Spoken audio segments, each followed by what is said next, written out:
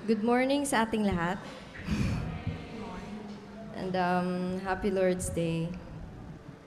Um, praise God na nakarating naman tayong lahat dito ng ligtas and hindi siya aksidente na nandito tayong lahat. And so, right now,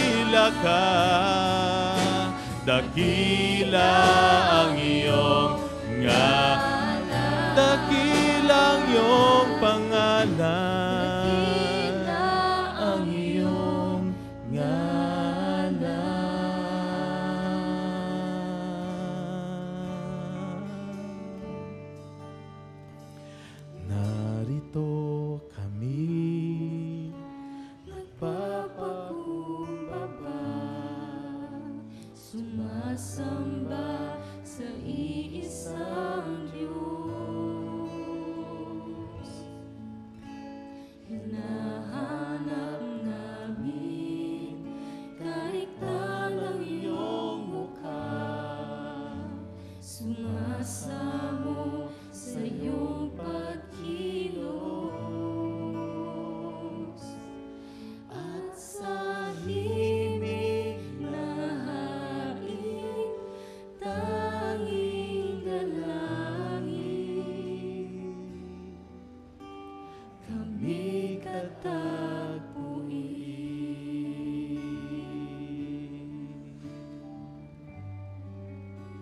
Nais po naming makita ang iyong mukha, Panginoon.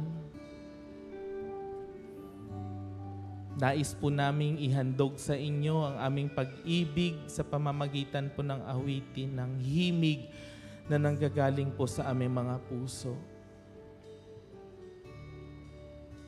Lord, remind us always that we come to worship because of you. We come to worship to come before a glorious God, a faithful God, a sovereign God. Nawa, Panginoon, makatagpo namin ang isang Diyos na matapat. Makatagpo namin kayo sa iyong pagmamahal, sa iyong pagtsatsaga, Panginoon, sa iyong pagkapatawad sa amin. At bigyan mo kami ng ang bawat isa ng pagkakataon na tumayo sa iyong presensya. Salamat, O Diyos, for the grace, sa biyaya na binigay mo sa tuwing linggo, kami po ay makakadako sa iyong presensya bilang isang pamilya, Panginoon. Kaya narito kami nagpapakumbaba, sumasamba sa iisang Diyos sa langit. Diyos ng aming buhay, Diyos ng, ng aming mga pamilya, Diyos ng aming simbahan. Kumilos ka, Panginoon, sa aming gitna. Salamat, O Diyos. Dakila nga ang iyong pangalan. Amen. Amen. Sana sa ating araw-araw, no, we really want to see the face of the Lord. Gusto nyo ba yon na every time you open the Bible, every time you pray, you're really conscious to meet our God. Amen? And then, na- nakakaingit si Moses, no? Si Moses was considered a friend of God because he's, meron siya yung kaisa-isa na the Lord met Moses like a man meets a friend. No? So, sana maging friend tayo, oh, friend natin si God whenever we come to Him. But most importantly, let's revere Him for who He is. And this next song is a song that will declare that we will take every step of the way to fulfill the purpose, no? To run the race and to finish the race and and claim the crown that God has prepared for us, sabi ni Paul, no? So we will rejoice whatever what comes our way and we will be in step with the Spirit. Amen. Amen. Sige, let's let's sing this truth about the Lord.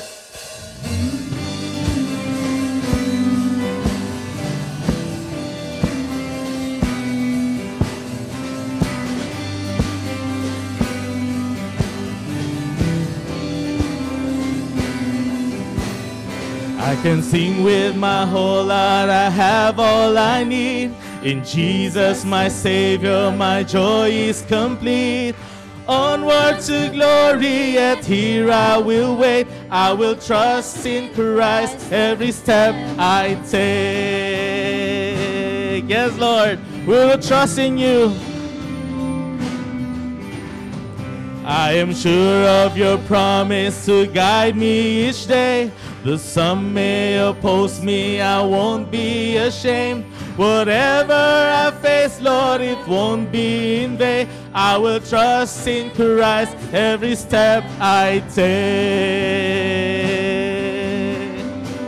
For all of my days I will live for your glory, running with courage and faith. Yes, Lord, the prize of my journey, the joy of salvation to meet my King face to face.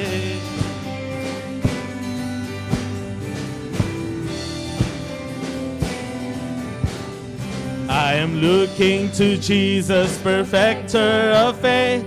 My heart set on heaven where treasure awaits. I'll run with endurance to finish the race. I will trust in Christ every step I take. For all of my days I will live for your glory, running with courage and faith. Give us faith, Lord, the prize of my journey, the joy of salvation to meet my King face to face. For all of my days I will live for your glory, running with courage and faith. The prize of my journey, the joy of salvation to meet my King face to face. To meet my King face to face. I will, I will rejoice. Let's sing this. Whatever comes my way, God, you're faithful to save. And I will, I will rejoice. I know that God is with me always. Rejoice in all circumstances. Ah, I will, I will rejoice. Whatever comes my way, God, you're faithful to save. Ah, I will, I will rejoice. I know that God is with me always. For all of my days I will live for your glory, running with courage and faith.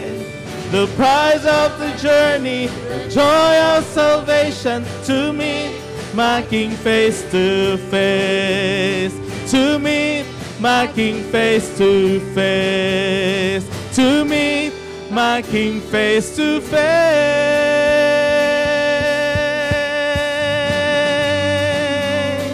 Give us faith, Lord, to obey you every step of the way until we fulfill your purposes and plan in our lives. Have your way in us, Lord God. And all God's people say, Amen. Every step of the way, we will rejoice, Lord, and we will obey you. Thank you, Lord. Let's go around and greet one another with the love of the Lord. Sige po, bigay natin a warm handshake, hug, smile.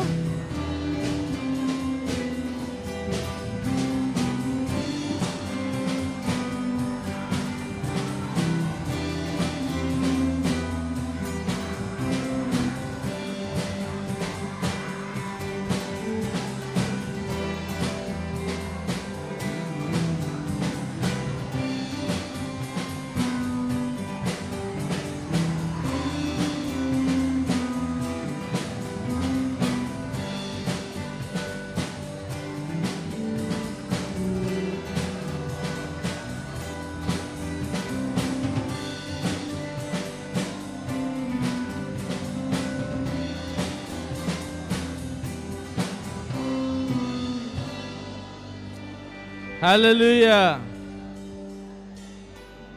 Nakapa, napakasaya at nakapainam na nandito tayo sa house of the Lord. Ayan. Mari po tayong maupo at tatawagin ko po yung mga Sunday school kids. Ha? Number one si Joko.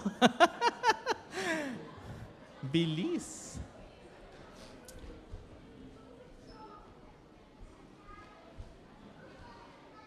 Maybe let's ask one of the teachers to pray. Sinong may boses sa inyo? Jessica, may, best, may boses ka na ba? Wala pa? Si teacher Julia. Let's call on Julia to pray. Um, let's pray po. Uh, Lord, uh, our Father in heaven, we thank you for today, Lord God, na ginabayan niyo po kami sa pagpunta rito. And thank you, Lord God, for another day, Panginoon, na makakapag-worship po kami sa inyo at makakapag-serve po sa inyo. And Lord, um, uh, guide, i-guide niyo po kami na sa araw na to and itong mga batang ito, Lord God, naway um, uh, i-guide niyo po ang kanyang, kanilang mga puso at isipan, Panginoon. Maging ang, ang mga teachers, Lord God, na magtuturo sa kanila. Gabayan niyo rin po ang bawat isa sa amin, Panginoon, ngayong araw na to. Uh, we ask all, the, all these things, Panginoon. In Jesus' name we pray. Amen. Thank you. Siya Thank you, Julia. Teacher Julia.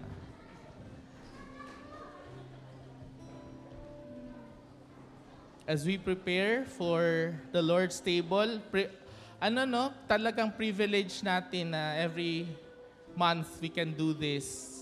Kasi ito yung isang utos ng ating Panginoong Jesus. Do this as often nga eh. Sana, Pastor, baka pwedeng every Sunday. do this as often. So, to prepare our hearts, we would want to ask you to sing with us this song, Behold the Lamb. And let's just reflect on the lyrics and the message and look back on God's faithfulness, on God's love, how He sacrificed everything just for us to be saved. Behold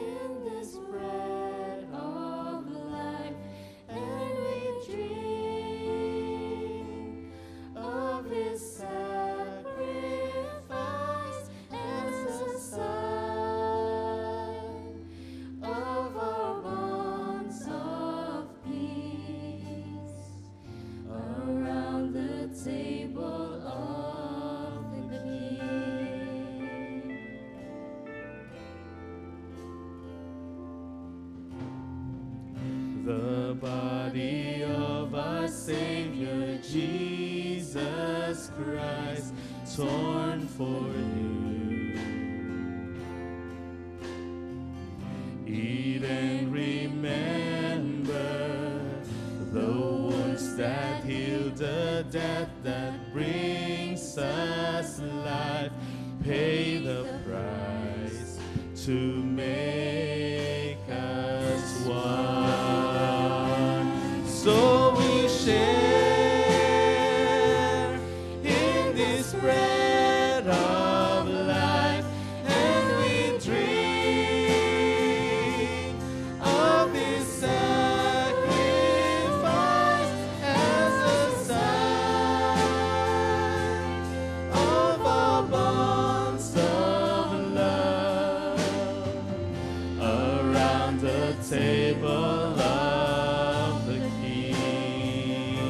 Let's everyone, let's all stand and worship Him.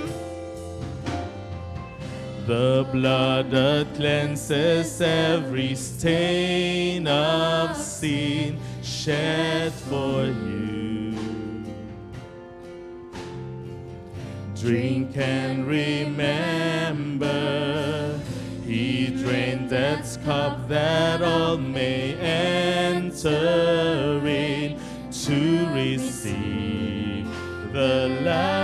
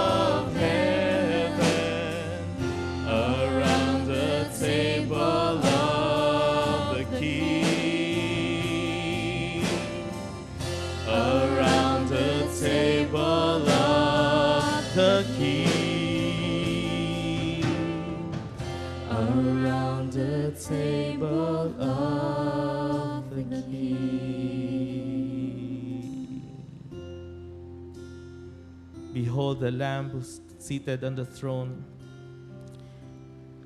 Thank you, Lord, that someday we'll see you face to face. And thank you for the opportunity that we can always remember you with this ordinance, Lord, that you have given for your people, for your disciples.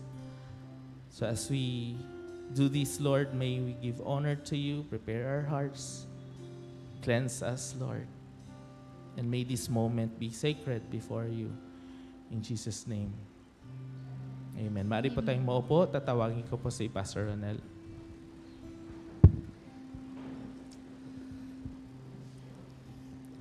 As we come to the table of the King, as we come to the Lord's table, let us uh, attend to the words of institution of this ordinance na sinalita po ng ating Panginoong Heso Kristo at ibinigay din po kay Apostol Pablo sa 1 Corinthians chapter 11 verses 28 onwards.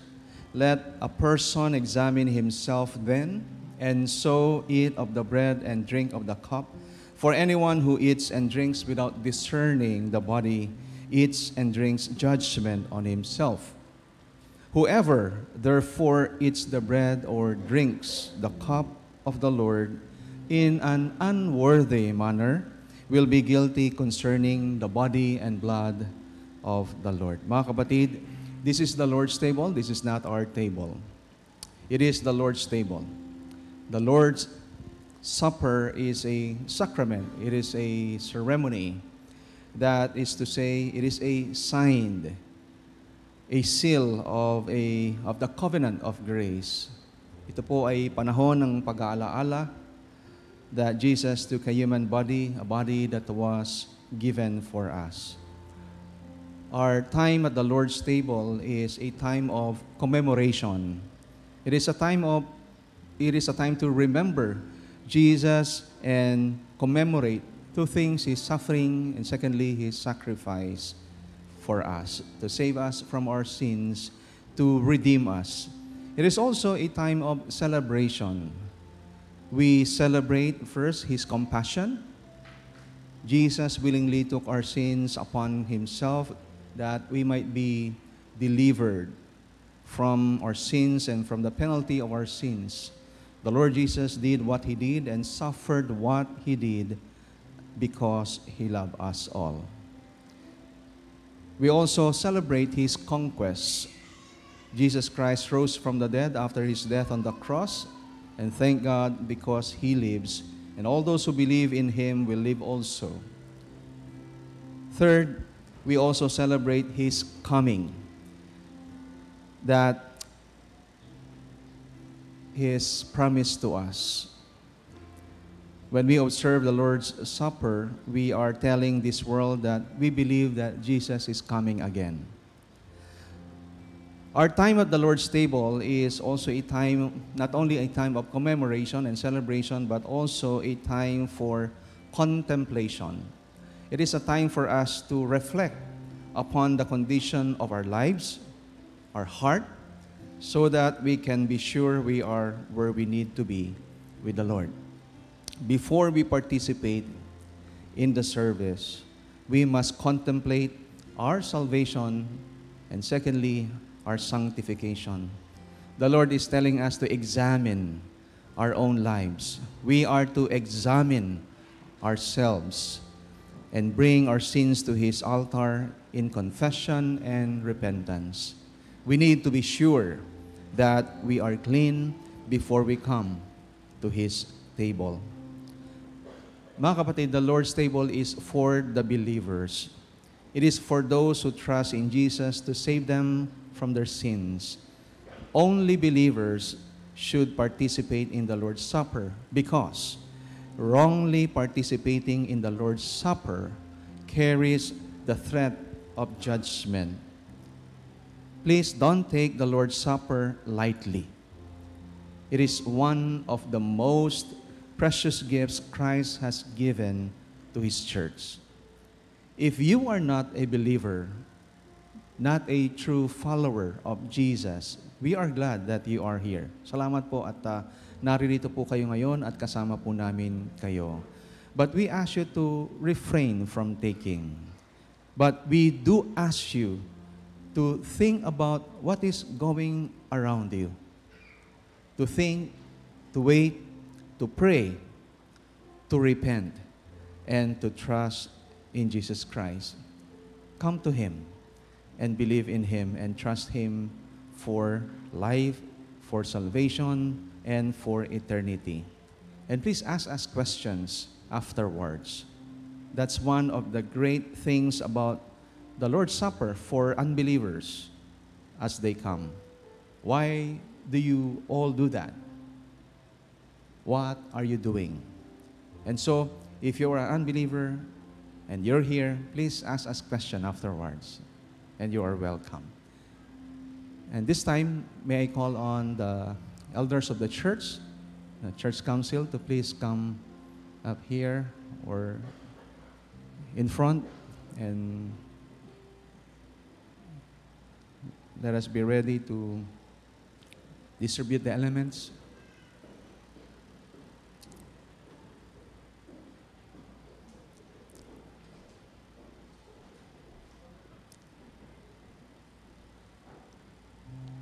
Let's come to the Lord in prayer, and I suggest that let's come to Him and open our hearts before Him, and let's the Lord examine our hearts before we come to His table.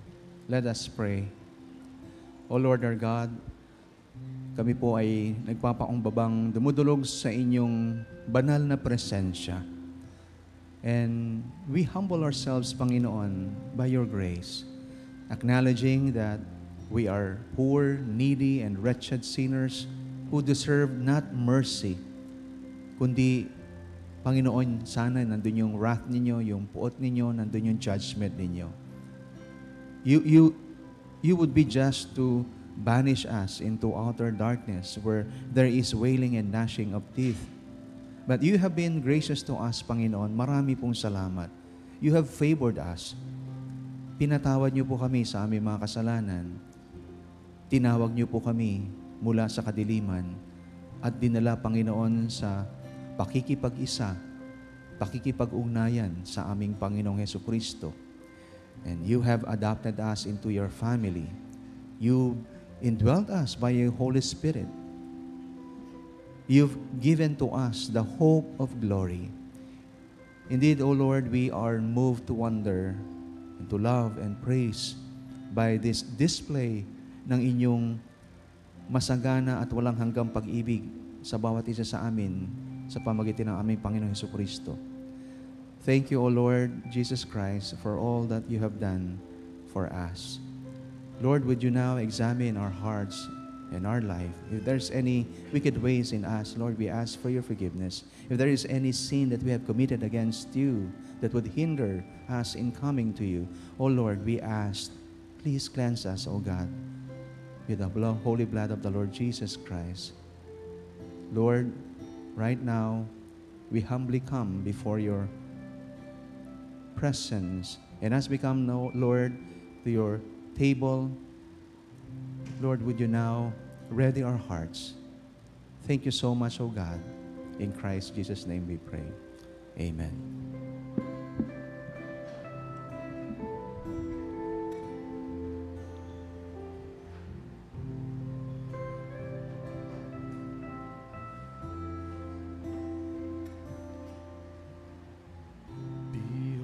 The Lamb of bears our sins away, slain for us. And we remember the promise made that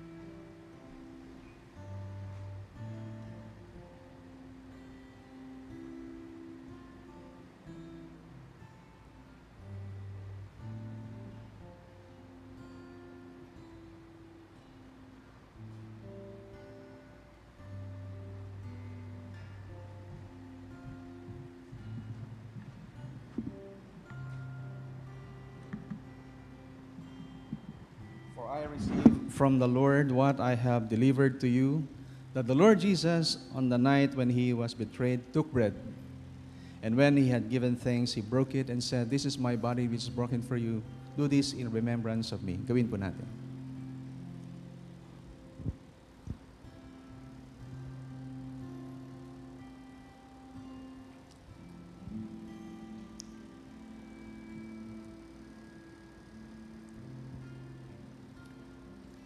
The same way also, he took the cup after supper, saying, This cup is the new covenant in my blood. Do this as often as you drink it in remembrance of me. Gawin po natin.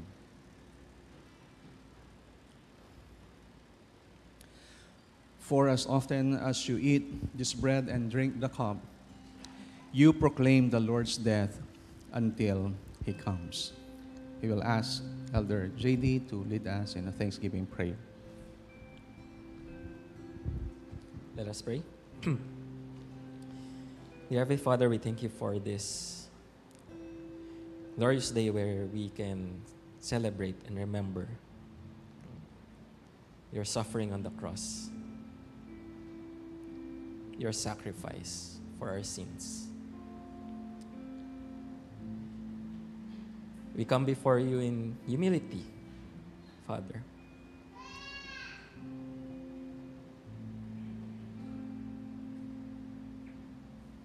You are victorious and you are glorified forever. And just give you back all the glory and praise.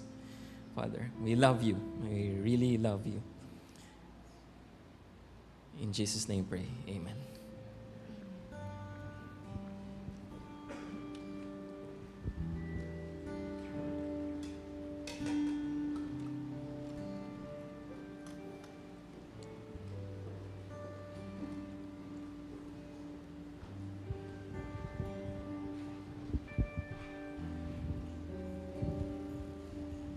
Let's continue to worship the Lord. Let's all stand. Thank you, Lord Jesus. It is proper to give our worship to Him, the one who gave everything for us. Thank you, Lord. Jesus, we enthrone you. Proclaim you are King, standing here in the midst of us. We raise you up with our praise. Jesus, we enthrone you. Jesus,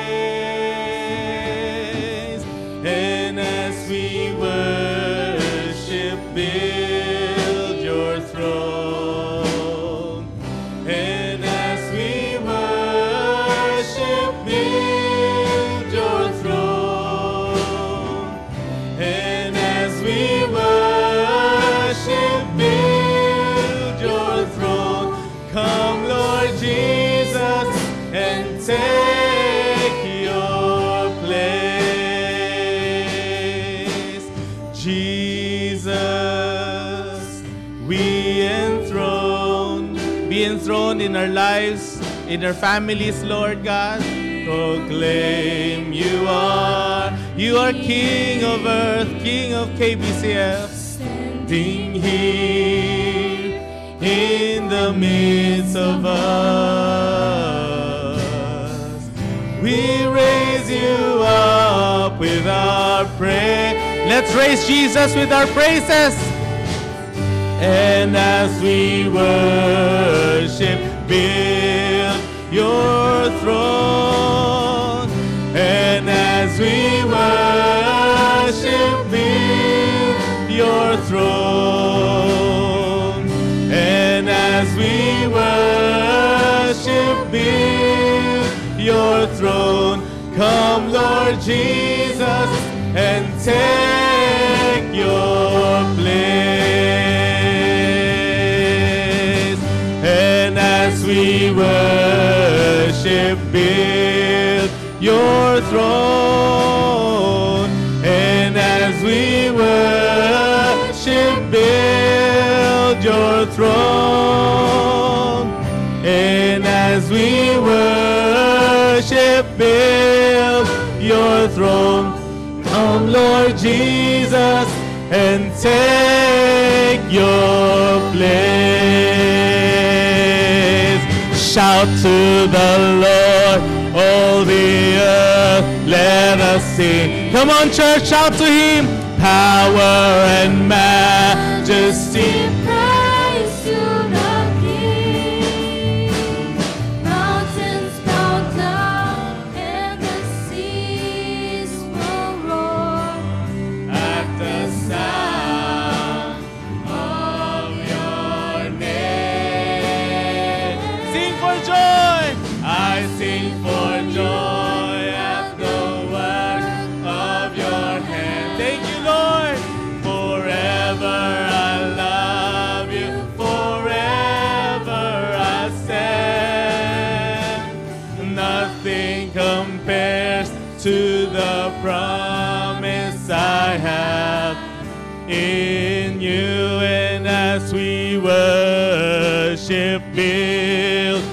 Your throne. And as we worship, build your throne. Oh Lord, we worship, build your throne. Come, Lord Jesus, and take your, take your place. Come, Lord Jesus, and take your, take your place. Come, Lord Jesus, and take your place. Take your place, O Lord. Lord, search every heart here. Kung meron pang mga area sa buhay namin that we are on the driver's seat, Lord, we surrender to you now, Lord. Take your place. Be enthroned in our life, Lord, every aspect of our life, in our thoughts, in our heart's desires, Lord in our ambitions, in our security, Lord. Be enthroned. Take your place, Lord, in the life of our families, Lord God. Be the center, Lord, of our life. Be enthroned. Be the throne, Lord God. We proclaim that you are King of our hearts.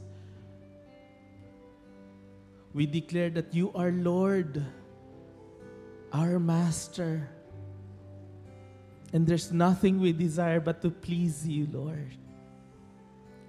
To obey you, Lord. To honor you and glorify you.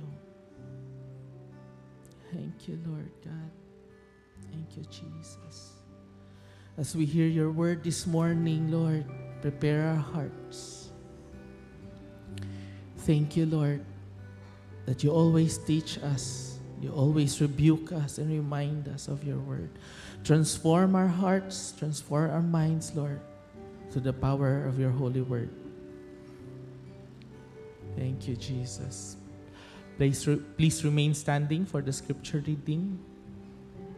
Let's call on Ate Yellow.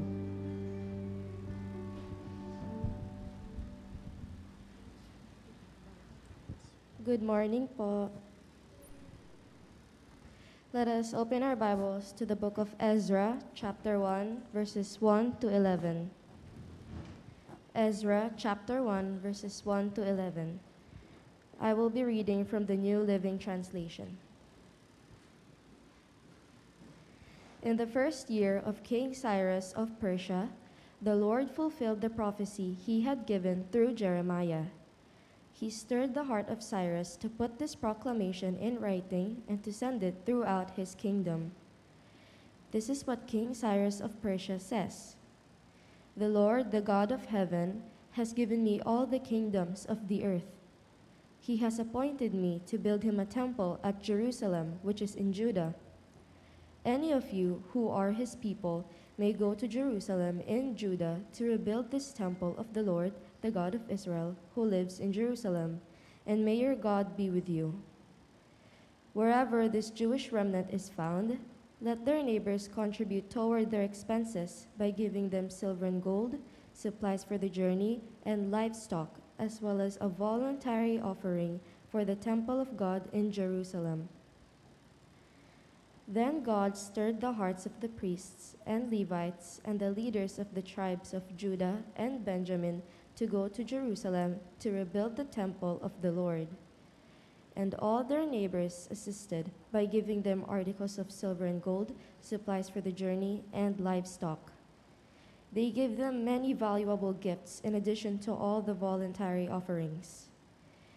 King Cyrus himself brought out the articles that King Nebuchadnezzar had taken from the Lord's temple in Jerusalem and had placed in the temple of his own gods. Cyrus directed Mithredath, the treasurer of Persia, to count these items and present them to Sheshbazzar, the leader of the exiles returning to Judah. This is a list of the items that were returned 30 gold basins, 1,000 silver basins, 29 silver incense burners, 30 gold bowls, 410 silver bowls, and 1,000 other items. In all, there were 5,400 articles of gold and silver. Sheshbazzar brought all of these along when the exiles went from Babylon to Jerusalem. Let us pray. Dear Heavenly Father, we truly thank you and appreciate the time you have given us to praise you and to know you more. I pray for Pastor John Gonzaga that you will bless him with the wisdom na kinakailangan niya upang maiparating sa amin ng malinaw ang iyong salita. In Jesus' name, Amen. You may all be seated.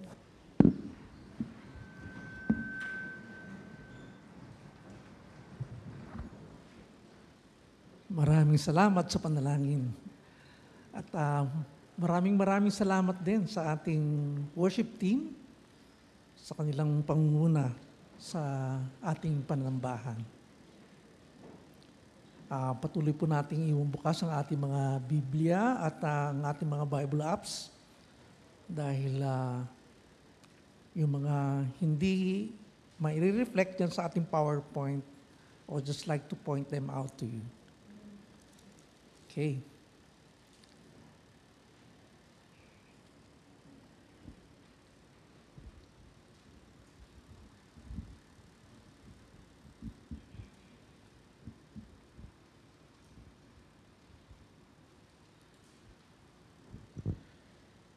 Magsimula po tayo sa ating pag-aaral sa aklat ni Ezra.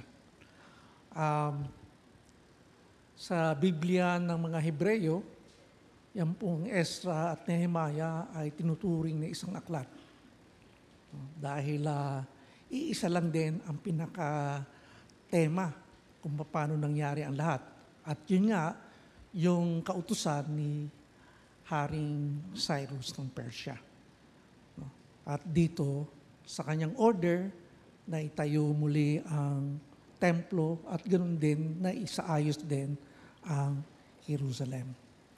At dito sa kanyang ginawang ito, ando doon po yung muling ipinahayag yung kagustuhan ng Panginoon na marinu, no? Ma, muling mabuo ang kanyang bayang Israel.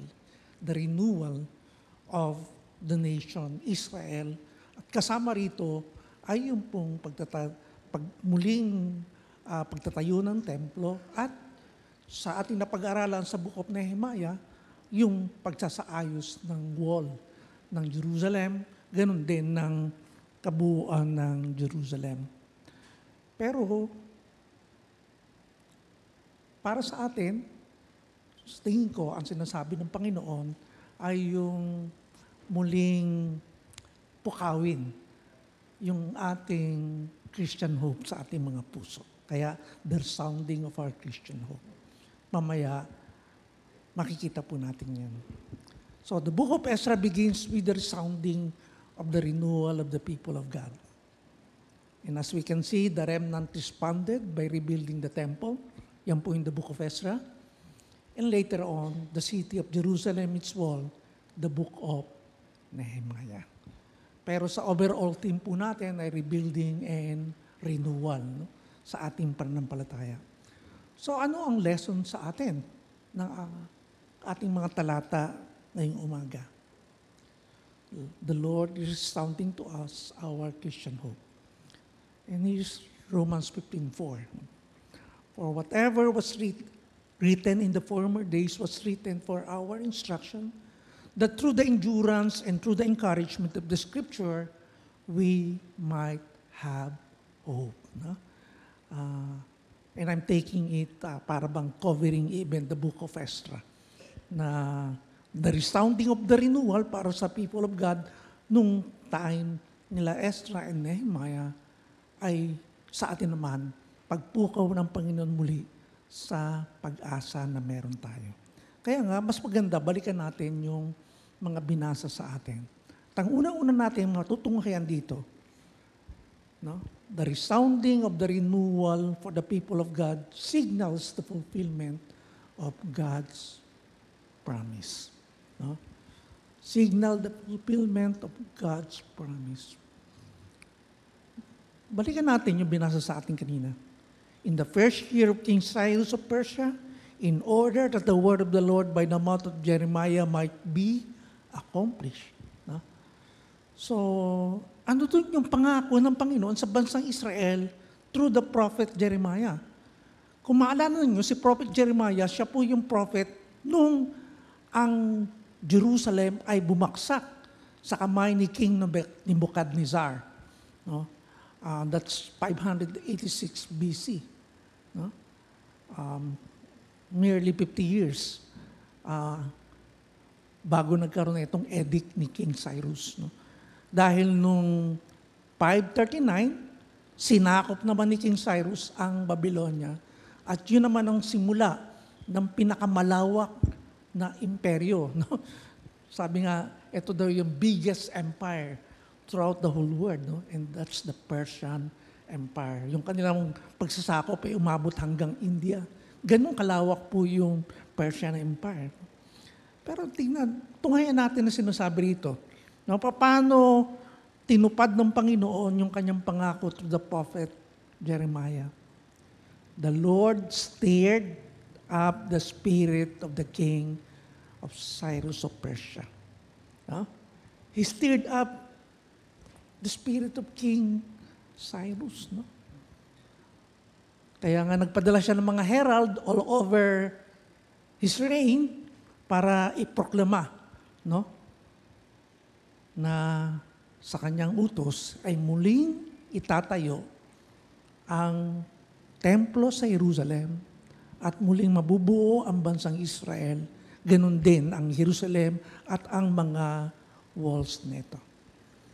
Maganda yung sinasabi ni King Cyrus dito, di ba? King Cyrus of Persia, the Lord, the God of heaven, has given me all the kingdoms of the earth. And He has charged me to build Him this temple. Tapos ando doon yung kanyang utos, no?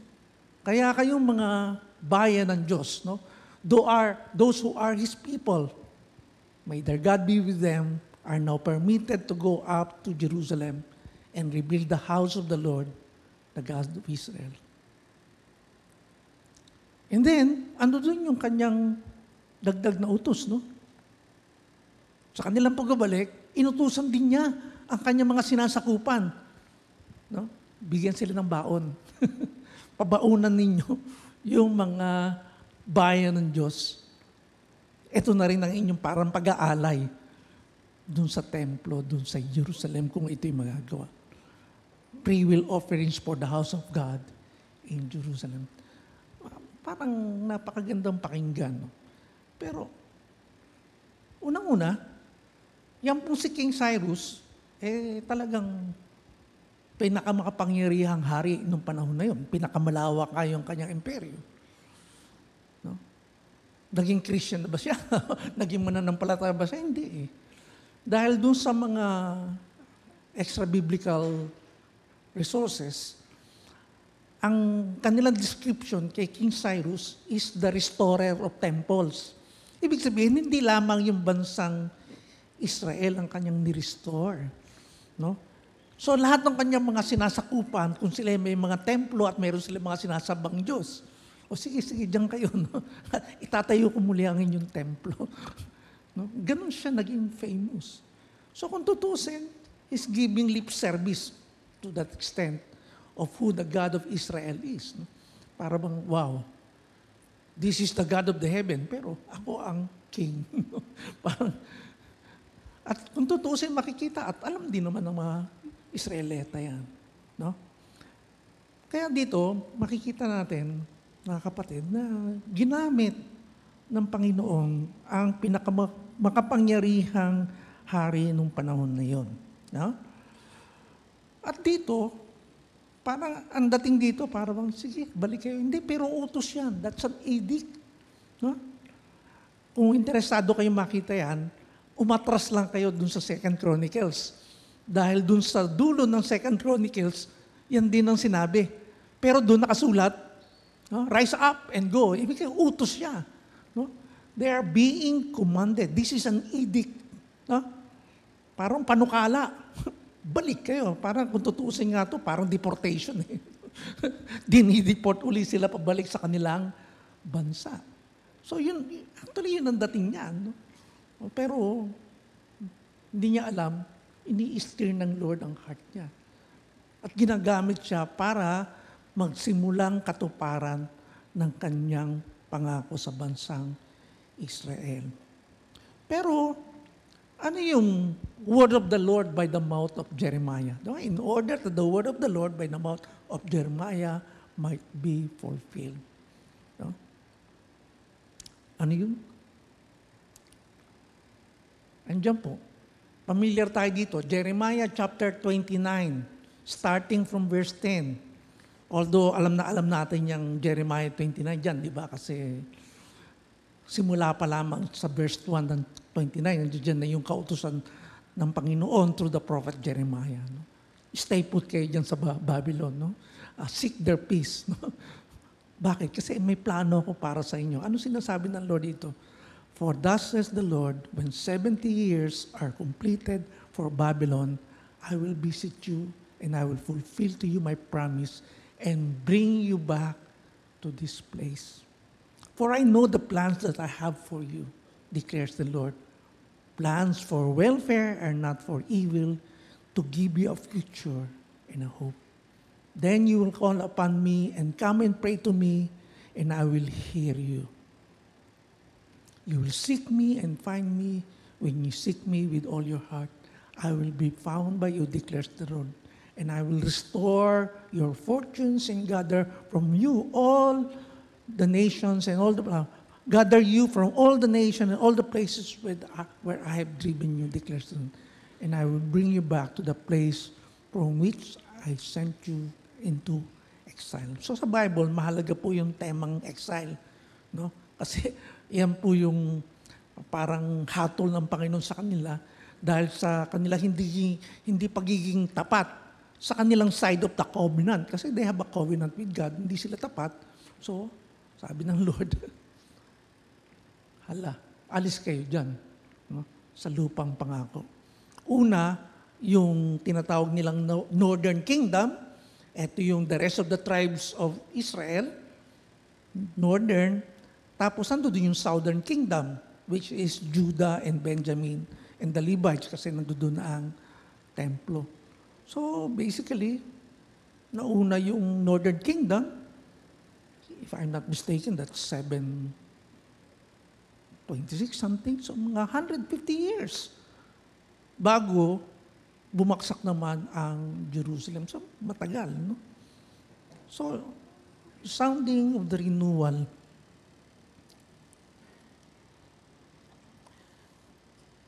Bakit ko sinabing signals the fulfillment of God's kingdom? Kasi parang dating sa atin, ah, fulfilled na. Hindi eh. No?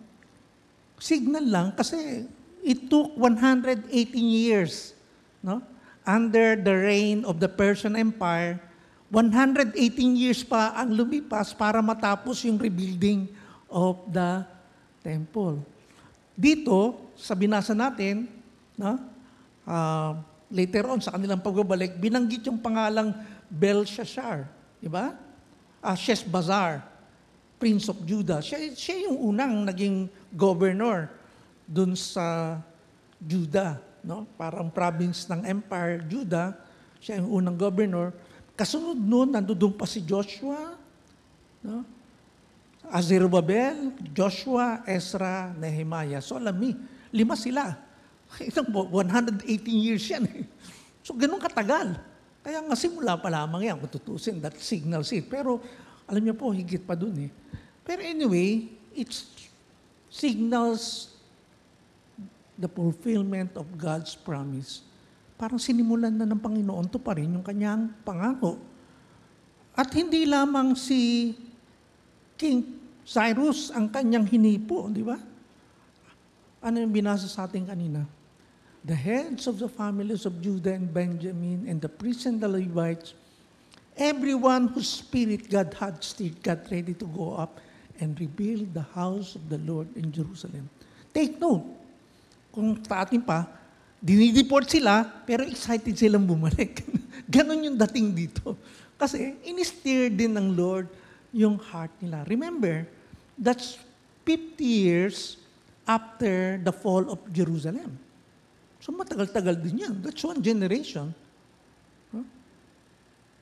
Kaya iniisip ko, bakit sila lang?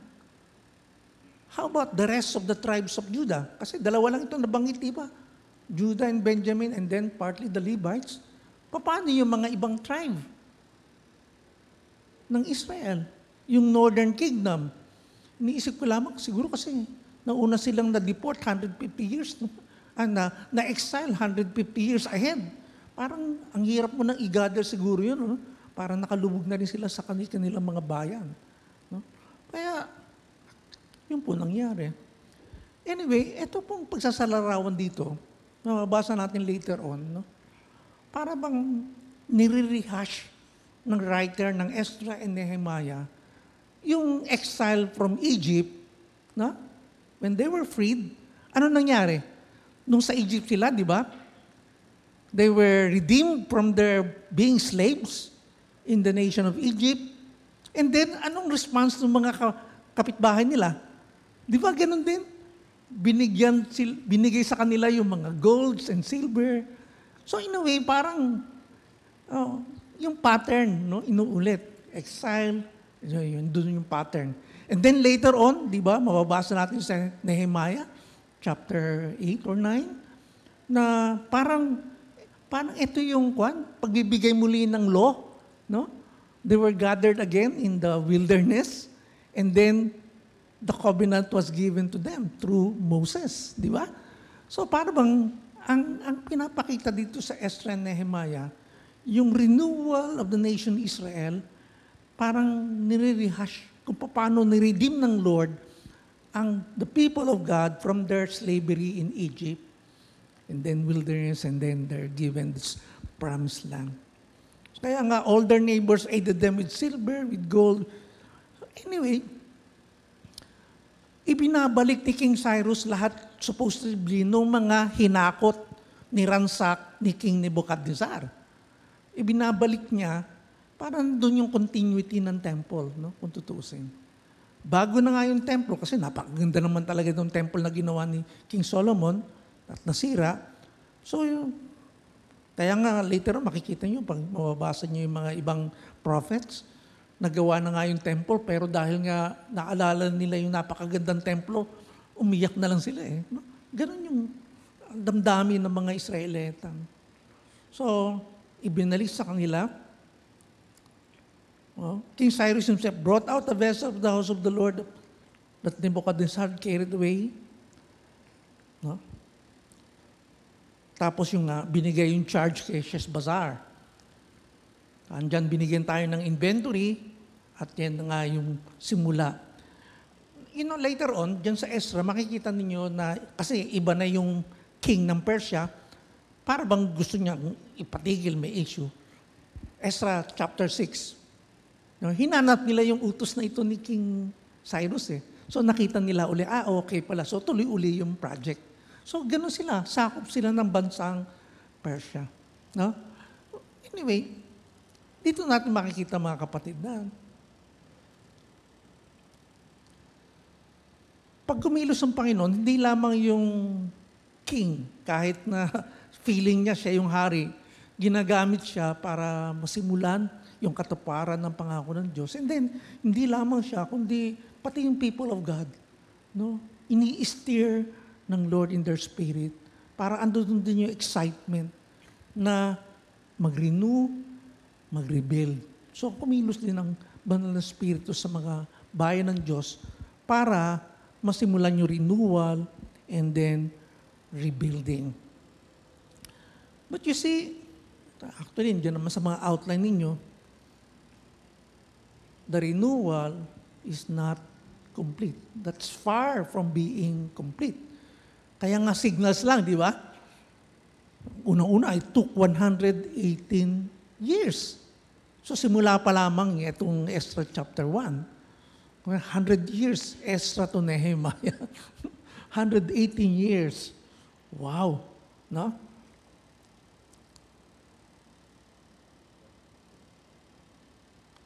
It was not, it was only the heads of the families of Judah and Benjamin. Katulad nga nasabi ko kanina. Where's the rest of the tribes of Jacob? Di ba? God's promise is the whole nation of Israel. Actually, hindi nabanggit eh. No? Yung mga ibang tribes. Hindi eh. Pero anong pangako ng Lord sa Jeremiah? Let's look at Jeremiah chapter 30, verses 8 to 9. For behold, days are coming, declares the Lord, when I will restore the fortunes of my people. Ano yan? Israel and Judah. Ibig sabihin, northern, northern kingdom and the southern kingdom. I-restore ng Panginoon, says the Lord, and I will bring them back to the land that I gave to their fathers, and they shall take possessions of it.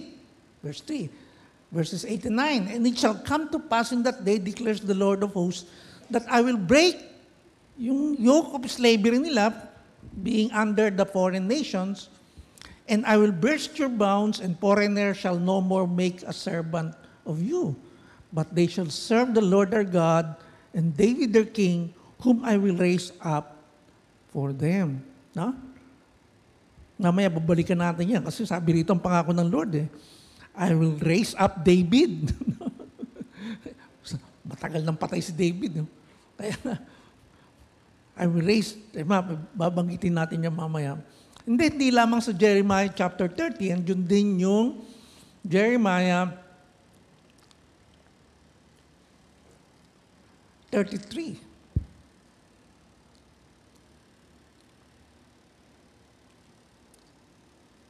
In those days and at that time, I will cause a righteous branch to spring for David, and he shall execute justice and righteousness in the land. In those days, Judah will be saved, and Jerusalem will dwell securely. And this is the name by which it will be called, the Lord is our righteousness. So, take note mga kapatid, no? Behold, the days are coming, declares the Lord, when I will fulfill the promise I made to the house of Israel and the house of Judah. Bakit hindi complete? Kasi ang nabanggit lang dyan, ano? Judah and Benjamin. So wala yung 10 tribe. The other 10 tribes. Although part of the Levites ando doon kasi nagsiserve nga sa temple. What's the point in all of this? Actually, in the book of Ezra and Nehemiah, feel na feel talaga nila yan. Alam nila na this is far from being the fulfillment of God's promise. I particularly remember this kasi ako yung nag-expound na ito eh. Nehemiah chapter 9. Umiiyak sila. No? After rehearse, rehearsing God's faithfulness, mercy, and grace, ito yung sa dulo ng Nehemiah chapter 9. Parang sinasabi na, Lord, you are faithful, you are merciful, pero kaya tignan nyo kami, we're still slaves. Sabi nila rito, di ba? Behold, we are slaves up to this day. Nehemiah chapter 9. Natapos na yung temple, natapos na rin yung wall, buo na rin yung Jerusalem, city of Jerusalem. Pero ito, they're still slaves. No? At nakita nga natin na hirap na hirap sila dahil ang taas nung tax na ini-impose sa kanila ng King of Persia. No? Yun yung dahilan kung bakit naghihirap sila. No? Kahit na mayaman ka at kung wala ka talagang means, talagang, eh, siyempre sila yung kanya, nagkakanya-kanyahan, di ba? Napag-aralan natin yun. Behold, we are slaves up to this day in the land that you gave to our fathers to enjoy its fruit and its good gifts. Behold, we are slaves. Tapos, yung kanilang mga ani, in its rich yield goes to the kings you have set over us because of our sins. Para bang patay din sila sa taxation. No? They rule over our bodies and over our livestock as they please. And we are in great distress. Yes, God is faithful, merciful, and gracious pa yan. Sabi nila, Lord, look down upon us. What's the point? The fulfillment of God's promise is far from being complete. In fact, ano sabi dun sa binasa natin kanina? How many years? 70 years, di ba? After 70 years, kasi yun yung katumbas na hindi sila nag-observe ng Sabbath to land, no? Bumaksak yung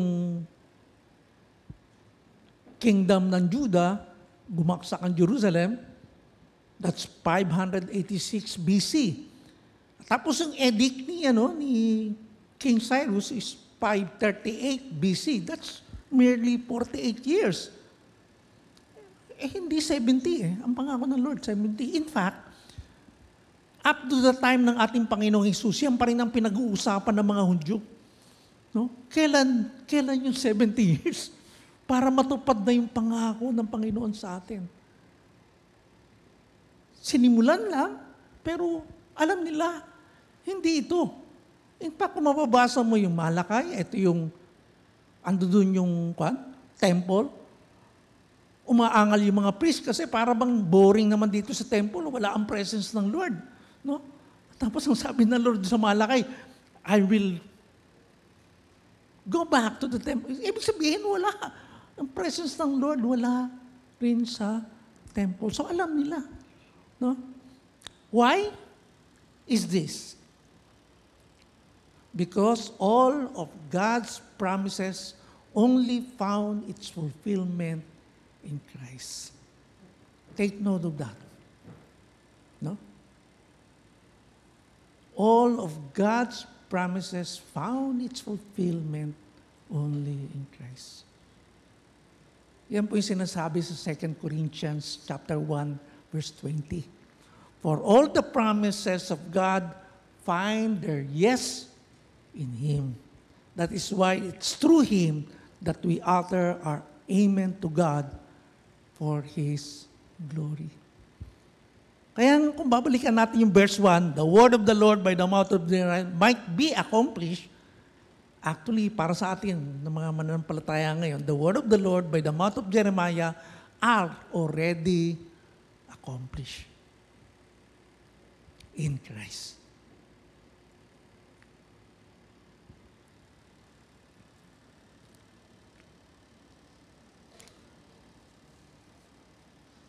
Medyo mahaba-haba ang ating conclusion ngayon.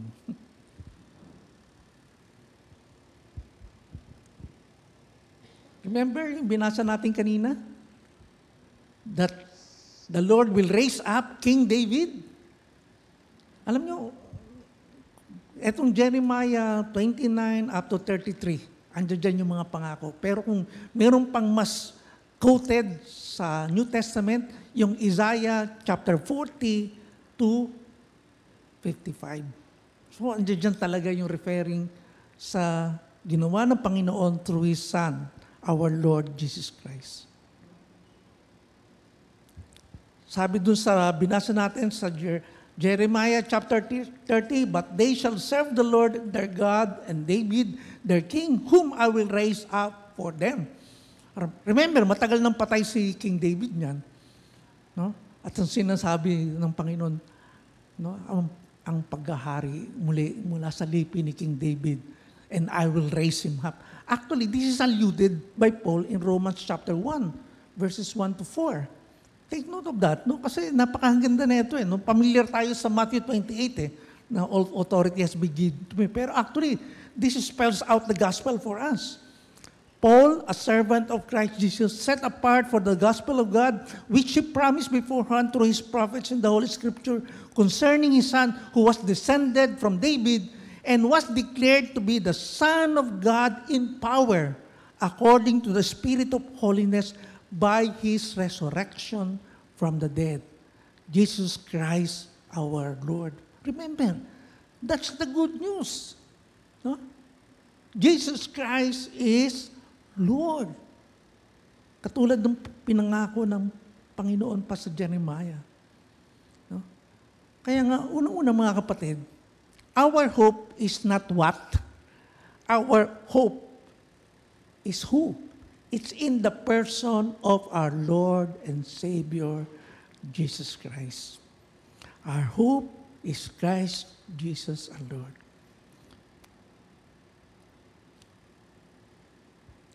I'm quoting Romans 15. And again, Isaiah says, The root of Jesse will come, even he who rises to rule the Gentiles. In him will tayo, Gentiles. In him will the Gentiles hope. May the God of hope fill you with all joy and peace in believing, so that by the power of the Holy Spirit you may abound in hope. So several, inulit yan kanina, di ba? Binasa natin. He will raise us King David and then sumusunod dun sa chapter 33 Jeremiah, ano sabi dun? One from the seed of David. So, eto po. But anyway, I'll be focusing more. No? Kasi, ang ganda yung sinasabi. 1 Timothy 1.1, Paul, an apostle of Christ Jesus, by command of God, our Savior, and, of Christ Jesus, our hope. No? So, sumatotal, yung ating pag-asa po talaga ay ang ating Panginoong Jesus. And I hope and pray na it will take our whole lifetime just to know Him and what He has done because that is actually what our hope is. But anyway, since ang binanggit dito si Prophet Jeremiah, will be focusing more on Jeremiah. Let us continue focusing on God's promises through the prophet Jeremiah, which is the subject that we are reminded of whenever we celebrate the Lord's Supper. Remember? Celebrate natin nila ang Lord's table kanina? Yung words of institution of the Lord's table. Just as I received from the Lord, verse 23, 1 Corinthians chapter 11, verse 23, I now share to you that the Lord Jesus in the night it was, when he was betrayed, he took bread and after giving thanks, he broke it and said, Take this and eat from this. For whenever you eat of this bread, you remember me. In the same way, after supper, he took the cup, no? saying, This cup is the new covenant in my blood. Take note. This cup is the new covenant in my blood. Yes. Ako, honestly, mga kapatid, yun lang, maalala natin na gaano tayo kamahal ng Panginoong Yesus. wow. Paano yun eh? Higit pa sa sapat eh. Mahal tayo ng Panginoon, pero gusto pa niya tayong surpresahin kasi higit pa doon. This cup is the new covenant in my blood. And ito po yung binabanggit sa Jeremiah. Ah, Here is Jeremiah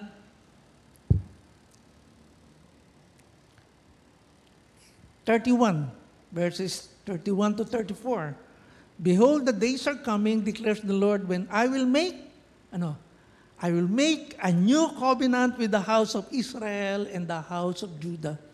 Not like the covenant that I made with their fathers on the day when I took them by the hand to bring them out of the land of Egypt, my covenant that they broke through, though I was their husband, declares the Lord. For this is the covenant that I will make with the house of Israel after those days, declared. I will put my law within them, and I will write it on their hearts. Wow. I will write it on their hearts. And I will be their God, and they shall be my people. And no longer shall each one teach his neighbor and each his brother, saying, Know the Lord, for they shall know of me from the least of them to the greatest, declares the Lord. I will forgive their iniquity, and I will remember their sin no more. So kasama ng new covenant yung forgiveness sa atin ng Panginoon, yung kayang pagmamahal. Pero higit pa dun, no? it's the renewal of whole creation. Maganda ito kasi last Sunday, no, doon sa message ni Pastor Ronel, pinakita yun sa atin kung paano yung mga ipinangako ng mga Israelita, di ba? Chapter 10, ah, chapter 10 ng Nehemiah, ando doon yung pangako nila. Tutuparin namin ito, itong nakasulat sa covenant. Eh, wala lang. Hindi pa nakakabalik si, si Nehemiah dun sa Persia. Eh. Wala, kanya-kanya na yung mga tao. No? Ibig sabihin, Bangapat, nanumpa sila na nila, hindi nila natupad. Kaya nga sabi rito? I will put my law in their heart. So, wala pa yun. Obviously, wala.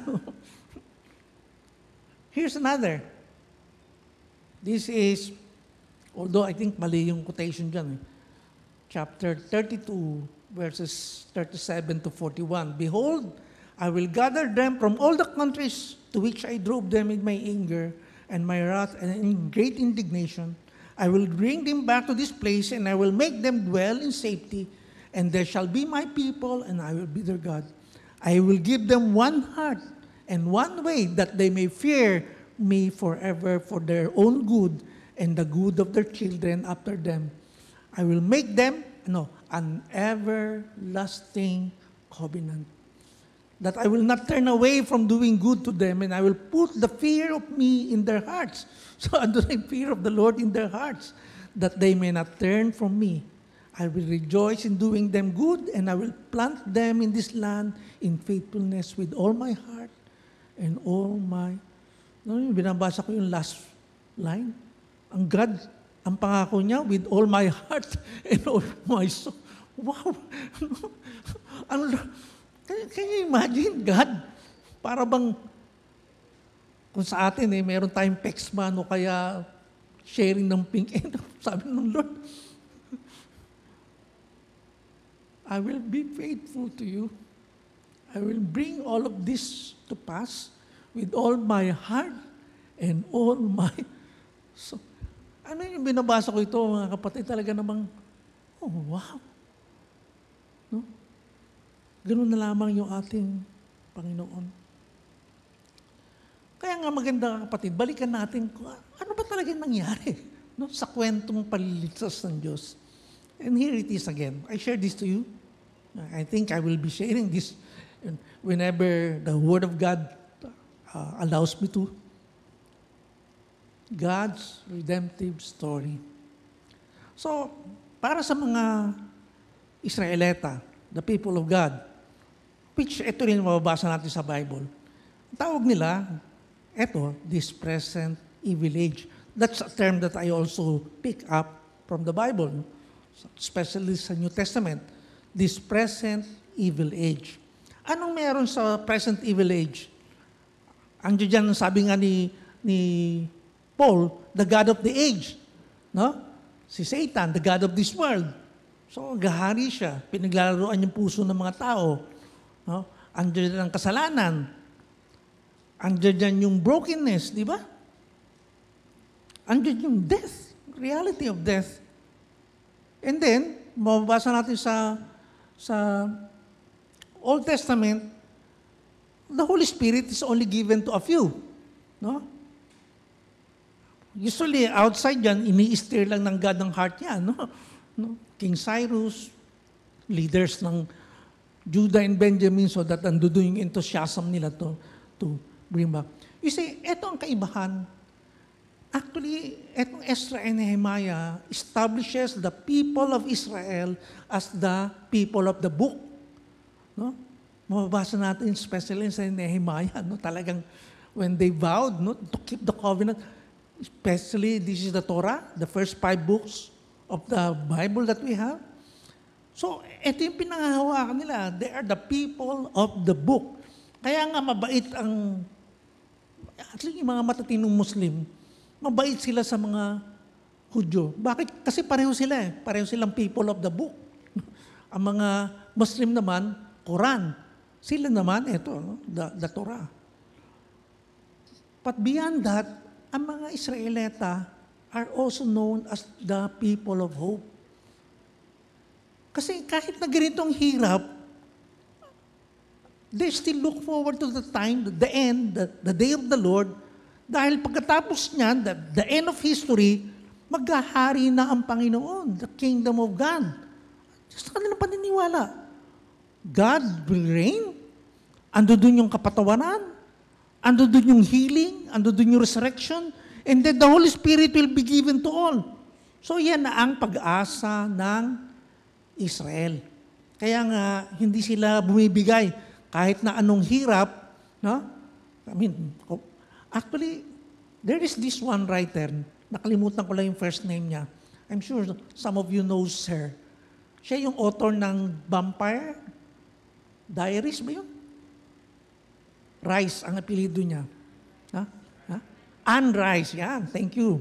si Anne Rice. Actually, pag pupunta kayo sa National Bookstore, isang isang kwan, isang parang shelf, puro Anne Rice book, no? Pero hindi kasama doon yung sinulat niya nung naging Christian siya. No? Kasi before his, her death, bumalik siya sa pananampalataya. And you know what brought brought her back to faith? Pinag-aralan niya yung history ng Israel. At nakita niya, oh wow, bakit buhay pa ito mga taong to? So, kutakot-takot na hirap ang inabot nila in everything. Remember, isang halimbawa na lamang, the Jewish language, yung Hebrew, is a dead language for hundreds of years. Hundreds of years. It's a dead language. Walang gumagamit niyan ng language na yan. And then, 1948, no, binigyan sila ng karapatan na bumalik sa Palestine through, through UN, di ba? Ma-establish yung nation Israel. Parang kinabukasan lang, buhay na naman yung language. Parang, pa- paano yun? Sabi nga, is the people of the book. Diyan buhay yung mga synagogue. Nagkaroon ng mga synagogue. Dahil nga sa panahon ni Estra and Nehemiah, they are the people of the book. At pag nag-aaral ka ng, ng ah, Torah, it seems nandoon ka sa temple. Yun kanilang, kaya nga may mga synagogues. No? Pero they, they are the people of hope. At dyan ta, I mean, mga kapatid, hindi natin may alis na tayo mga Kristiyano, sabi nga ni Paul, are what? Grafted into the tree of Israel. And that's through our Lord Jesus Christ. This present evil age, dyan dumating yung ating Panginoong Isus, the Christ, life and death, di ba? Which we just celebrated through the Holy Week. And then, after three days after He died, He rose again. Hindi siya na-resuscitate. No? The way that we're para bang using the language, actually, pag uh, sinasabing he, he was raised from the dead, para bang nabuhay lang siya. Hindi, this is resurrection. Ito yung resurrection na inaasahan nila sa end times. Kaya nga sabi ni Paul, yung para sa lahat, na simula na mangyari sa ating Panginoong Hesus. No? Kaya yung, yung end na yan, this end, naging dalawa. No? This end, na sinimulan, tapos magkakaroon ng consummation. Kaya nga, eto sa panahon ito ngayon, dahil nga sa kamatayan at muling pagkabuhay ng ating Panginoon Sus, andiyan dyan na ngayon yung binigay din sa atin ng Holy Spirit, Acts chapter 2. And then, andiyan dyan din yung paghahari na ng Diyos, the kingdom of God is here and not yet, kasi hindi pa consummated. Pero sinimulan na. And then there's forgiveness of sin. At doon din yung healing for some. Pero yung Holy Spirit ibinigay na. Kaya nga ang tawag po dyan ay period of overlap. Andiyan dyan pa rin yung reality ng sin, brokenness, and death, pero andiyan dyan na rin yung sinimulan na ng Panginoon sa atin. At sa lahat ng mga nananampalataya sa Kanya. Kaya nga yun yung period of overlap. That is our hope. Kung tutusin, yung hope natin, kung ikaw ay kay Kristo, nagsisimula na, nananahan na sa bawat isa sa atin. Colossians 1.27, Christ in you, the hope of glory. No? That's one line na napakagandang isa puso. Christ in you, the hope of glory. No? That's actually a temple language. Kaya nga, mga kapatid, whenever we celebrate the Lord's Supper, let us take to heart and live out our Christian hope. Nire-resound sa atin ng word ngayon ng Lord sa atin ay yung hope na meron tayo. Para sa Ezra and Nehemiah, sabi rito, it signals the fulfillment. Pero para sa atin, no, we are, sabi nga sa 1 Corinthians chapter 10, verse 10, we are the people on whom the end of the ages has come. Para ba yung end of the age dumating na sa atin? Kaya nga, ito yung hinihiling sa atin ng Panginoon na ating ipinamu, ipamumuhay. Let us live a life of intimacy with God and our Savior, Jesus Christ. Yung encouragement sa atin ni Elder Ted kanina, di ba? Yung una nating song, narito kami, nagpapakumbaba, sumasamba sa iisang Diyos, hinahanap namin, kariktan ng iyong muka, sumas. Ang, alam niyo yung song na yun, hinahanap mo ang kariktan, the beauty of His presence. Uh, these are languages of intimacy. eh. No? Na, sabi nga ni Third sa ating kanina, ito ba yung nararanasan natin whenever we come to meet God in prayer? Whenever we read His Word? I hope so and I pray so. No? Let us live a life of intimacy with God our Savior. And sa Jeremiah, ilang beses inulit yan, and you shall be my people and I will be your God. No, yun ang kanyang fulfillment ng promise niya. Once that is fulfilled, we are His people and He is our God. No? And then, let us obey the Lord from our hearts. Di ba? Sabi doon sa binasa natin, Jeremiah 31, I will put my law within them and I will write them on their hearts. And then thirdly, whenever we celebrate the Lord's table, no, yun yung reminder sa atin ng Lord. Kasi I'm talking about the new covenant in my blood, eh, di ba? I'm just citing all of this dun sa sinasabing new covenant in my blood. Let us walk in the Spirit. Hindi binanggit ito sa Jeremiah, Pero ito po yung sa Ezekiel chapter 36. I will take you from the nation and gather you from all the countries and bring you into your own land. I will sprinkle clean water on you, you shall be clean, and I will give you a new heart and a new spirit I will put within you. And I will remove the heart of stone from your flesh and give you a heart of flesh. May heart transplant, no? And I will put my spirit within you and cause you to walk in my statutes and be careful to obey my rules. You shall dwell in the land that I gave to your fathers, and you shall be my people, and I will be your God. So kasama ng new covenant ay yung Holy Spirit that's now dwelling in us. Ezekiel 36, 24 to 28.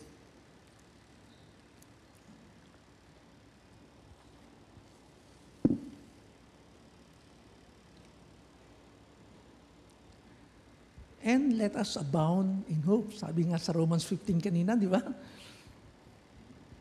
Gusto ng Panginoon sa ating pag-aaral ng lumang tipan, no? To, as we are encouraged, as we are revived, that our heart will abound in hope. Hindi natin binanggit ito, pero parati nababanggit, di ba? Remember, yung mga benediction that's pronounced over us. Ephesians chapter 3.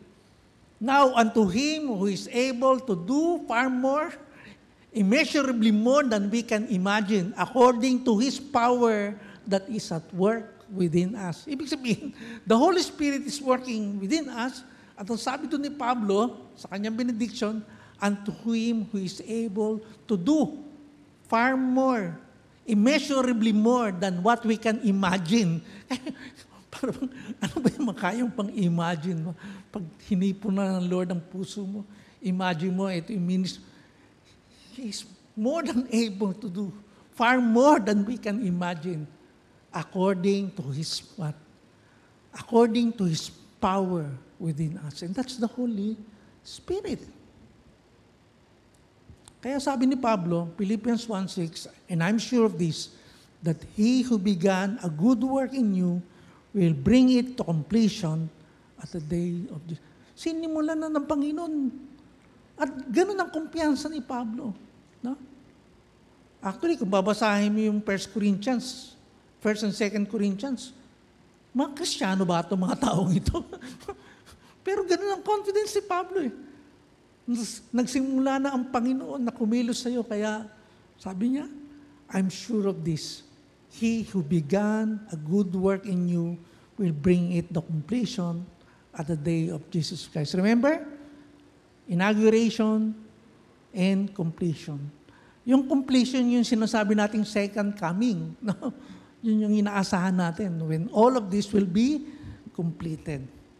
How about this? Jude 24 to 25.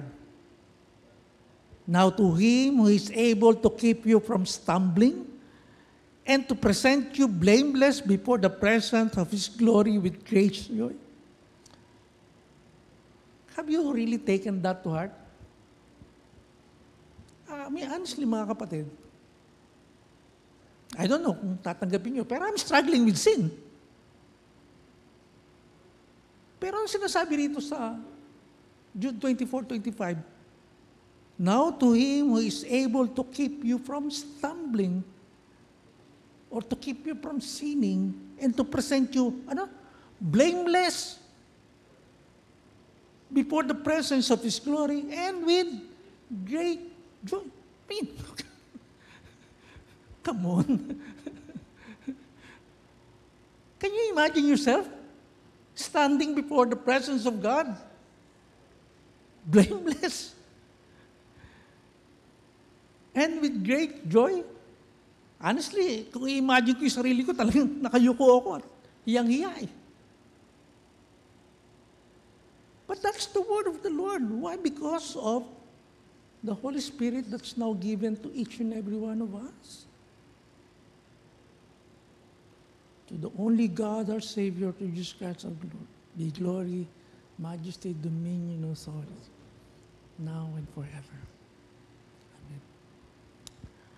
Let me end with this parody. No? Kasi katatapos lamang ng Holy Week, di ba? Last Sunday is Easter Sunday. But there was this parody shared to us by my sister-in-law no, sa grupo namin, in Gonzaga. Have you seen this parody of the resurrection? Kasi Palestine, di ba? Doon muling nabuhay ang ating Panginoong Isus. So lumabas siya. Eh, bakbakan doon sa Palestine eh. Kaya, ha, gulat siya. Gera. No? Okay na sana yan eh. Kaya lang, may karugtong. Takbo siya uli sa loob. Sinarado uli para hindi siya tamaan ng bomba. ano reaction niyo dun sa parody na ito? What is your reaction?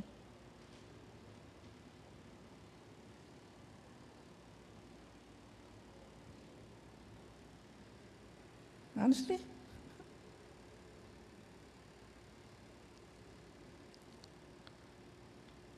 Actually, in the first two slides,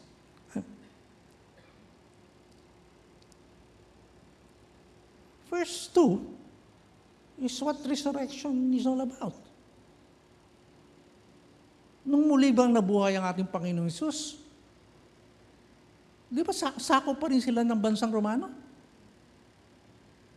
They were under the reign of the Roman Empire. And mind you, when you read the cruelty of the Romans, they are civil if you are Roman citizen. No? Actually, pag Roman citizen ka, kung i-execute ka, dapat by the sword. No? Kasi may dignity. Pero if you're not a Roman citizen, you will be crucified. And that's the most horrible, horrible, humiliating, embarrassing. Ang intention po ng crucifixion is to humiliate a person. No? To the max. Ganon ka-cruel ang bansang Romano. Pag hindi nila gusto nila yung anak, pag hindi nila gusto yung anak, lalo na kung babae, ilalagay lang yan sa labas ng pintuan nila. Eh. Pababayaan na kainin ng kung ano-ano pang mga hayop kung sino pang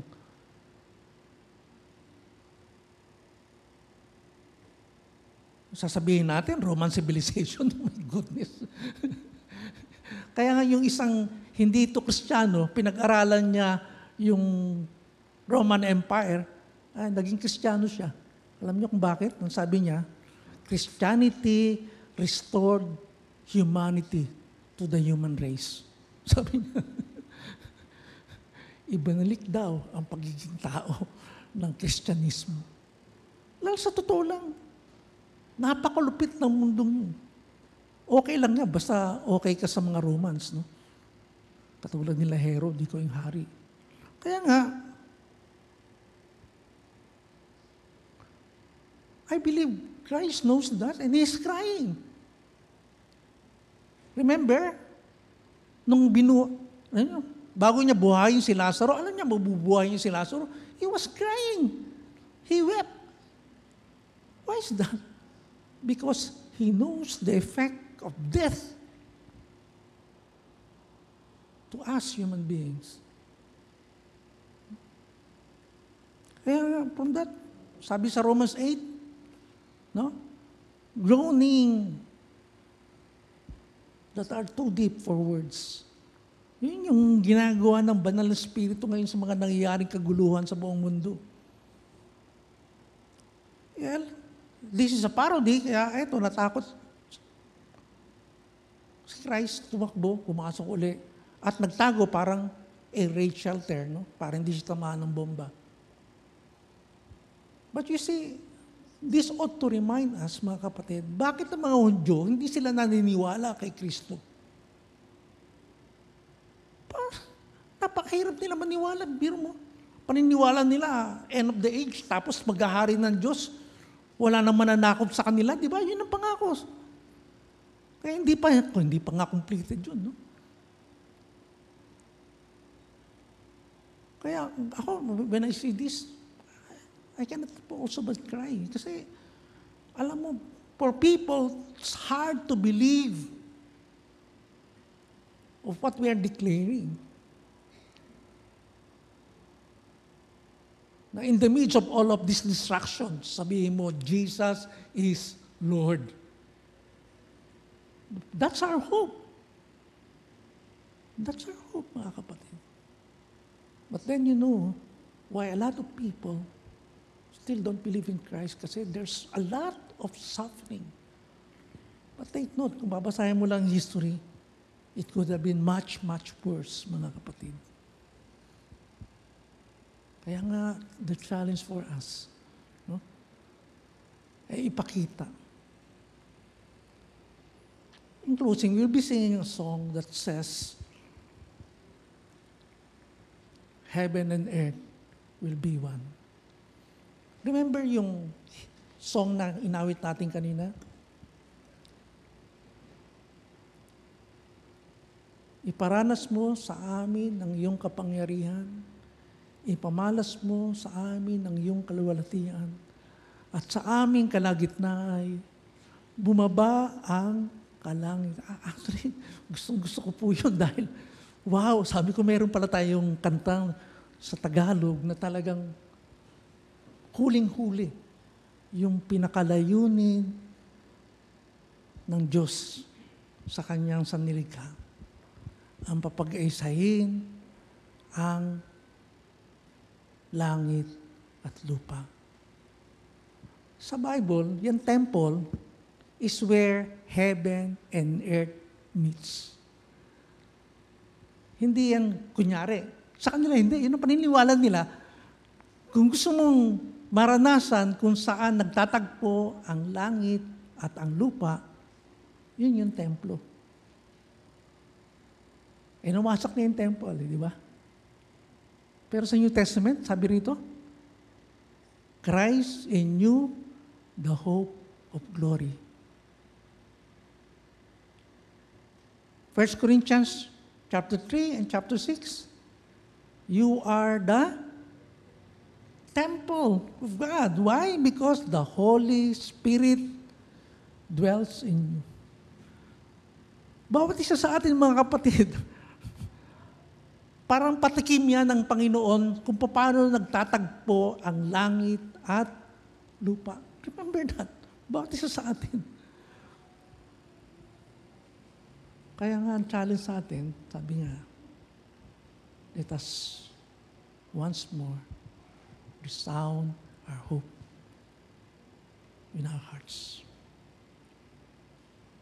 Before I close in prayer, I'd like to ask the worship team to lead us in singing that song.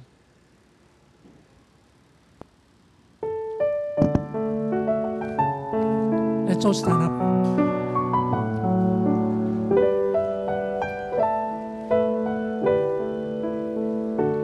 This is my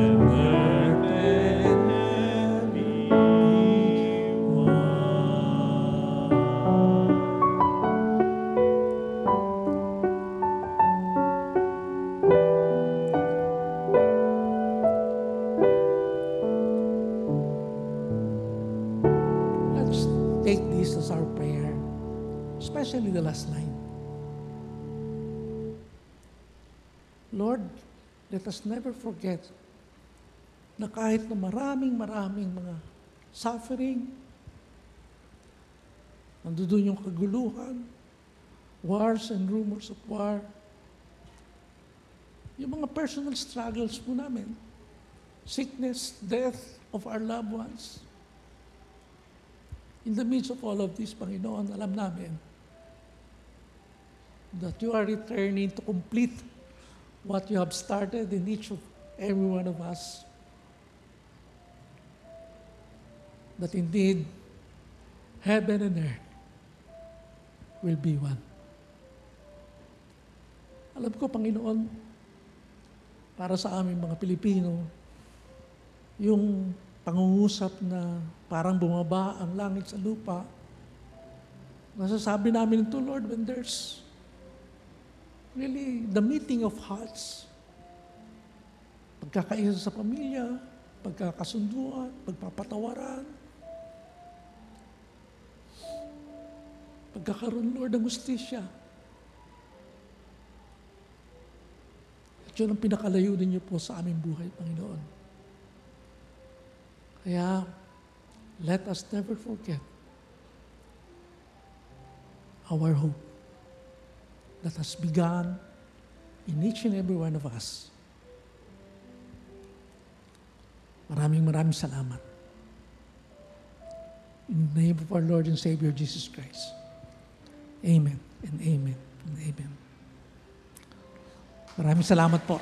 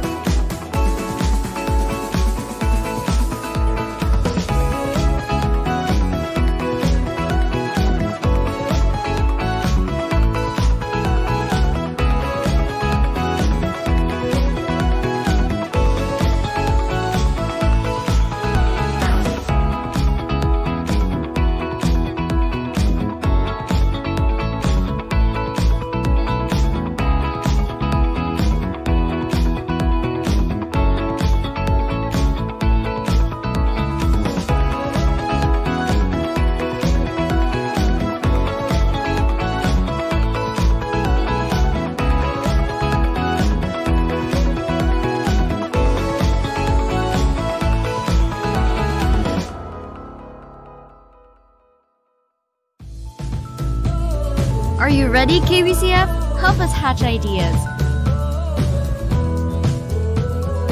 We are looking for people to serve with their talents.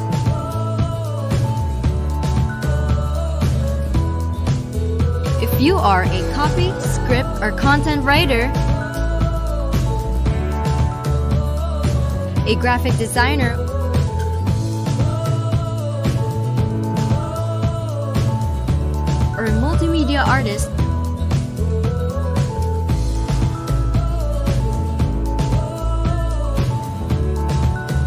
need your help for special projects.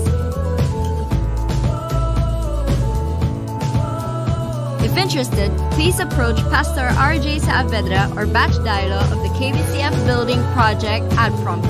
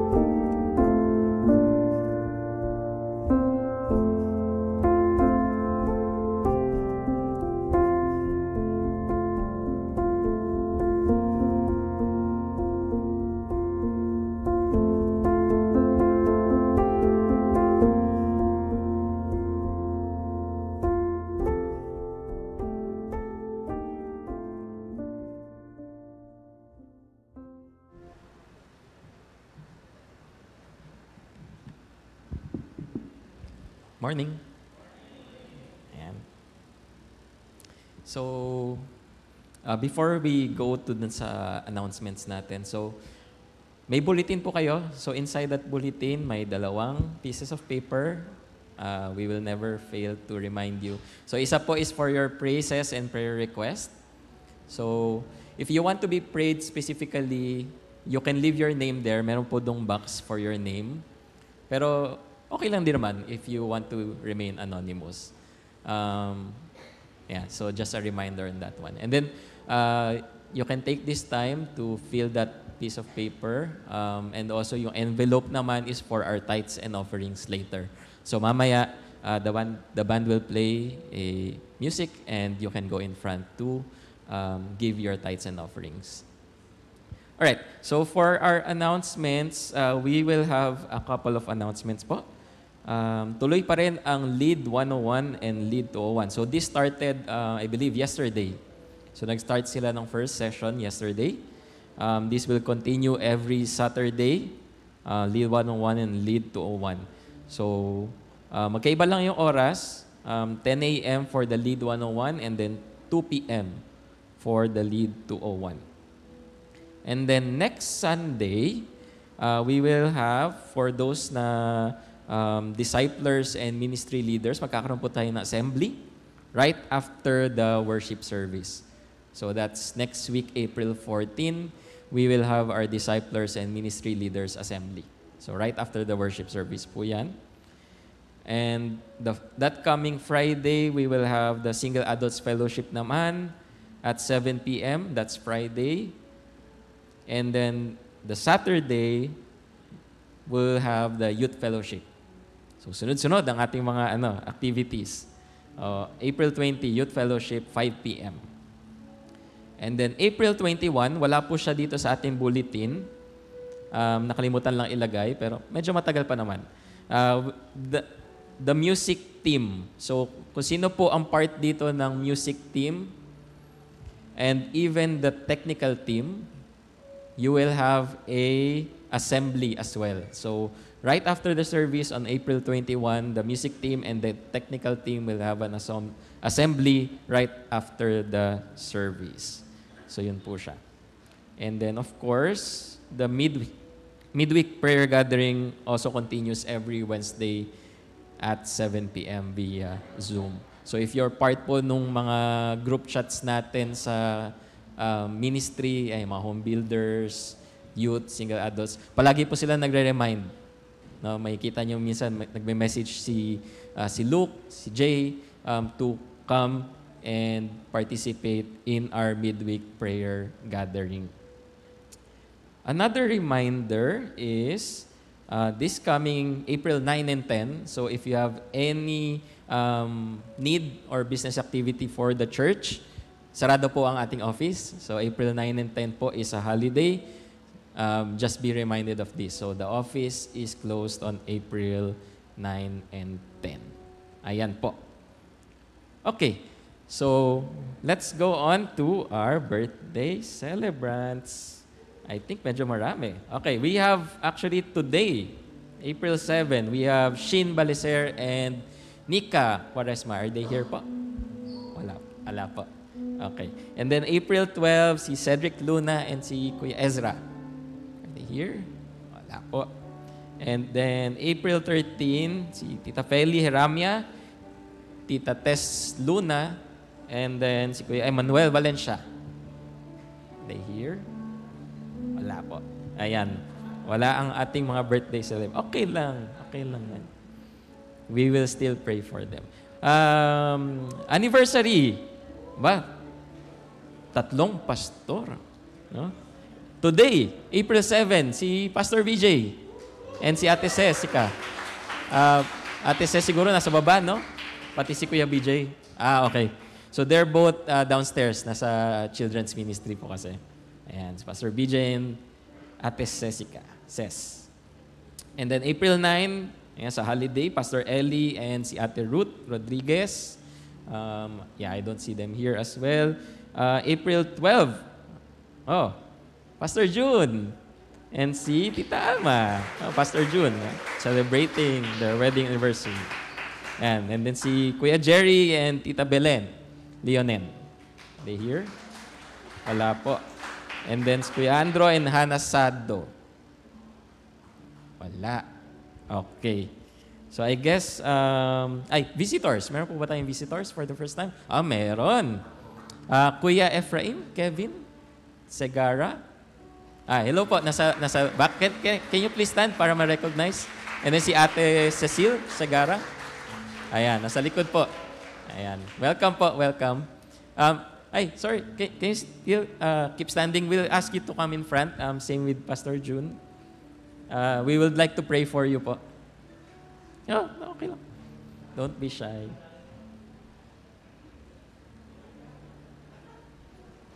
And we would like to pray for you po, um, Pastor June as well. Ayan. So welcome po. Okay. Ah, meron pa po ba? Hello po.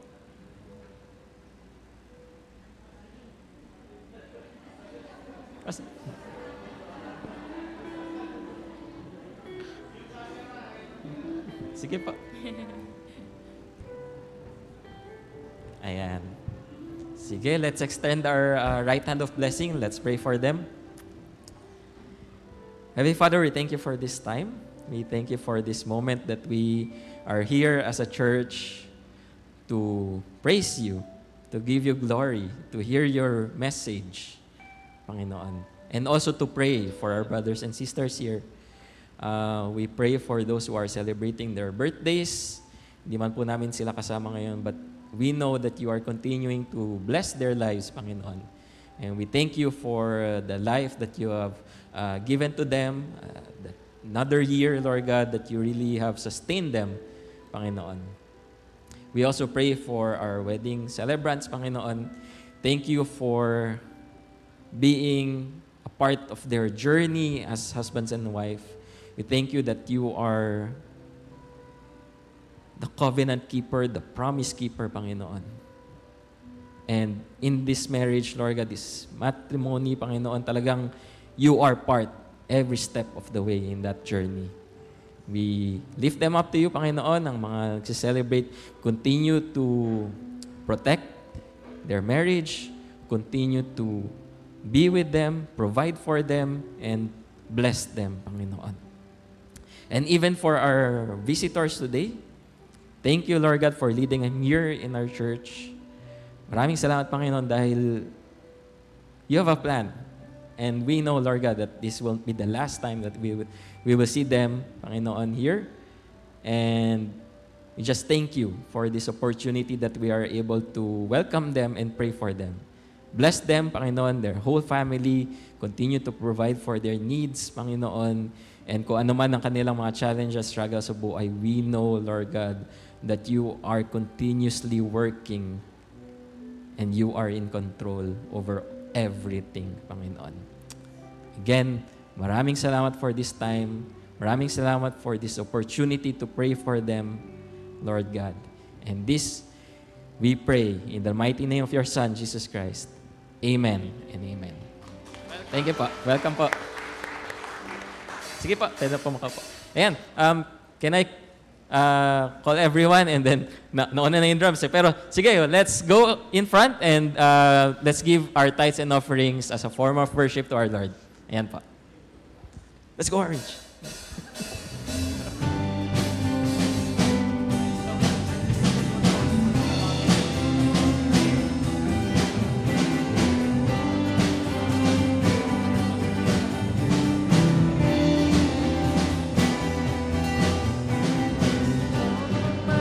I will live for your glory, running with courage and faith. The prize of my journey, the joy of salvation to meet my King face to face. To meet my King face to face. To meet my King face to face.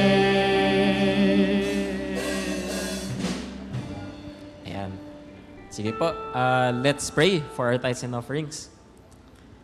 Panginoon Diyos, maraming salamat for you continue to bless us, Panginoon. uh, we lift to you our tithes and offerings. This is also a form of our worship, Panginoon, sa inyo. Because you own everything. Lahat ng aming kinikita, lahat ng aming ari-arian, even our lives, Lord God, you own them. So please accept this, our tithes and offerings. May it be pleasing unto you, Panginoon, and may you use this for the advancement and the glory of your kingdom, Panginoon. Again, we thank you. In Jesus' name pray. Amen. Let's all stand and sing this uh, benediction from Psalm 121, and then Pastor June will give his blessings to us as we close in prayer.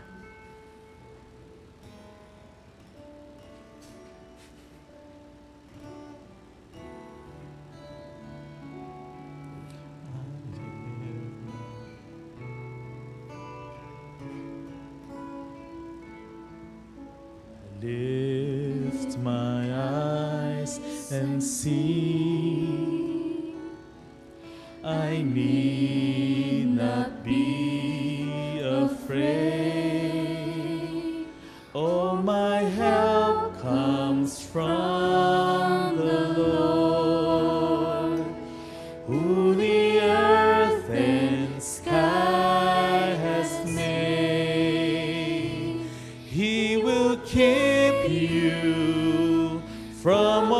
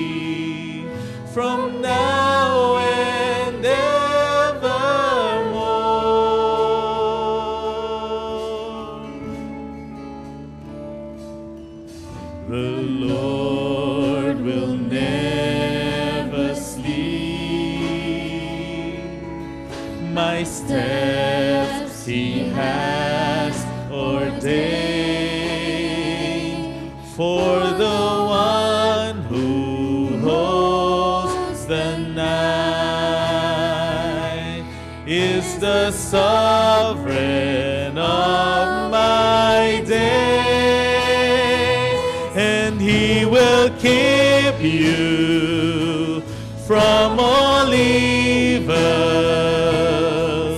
behind you and before.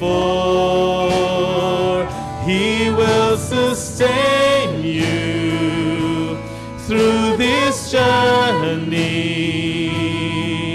from now and evermore. For he will keep you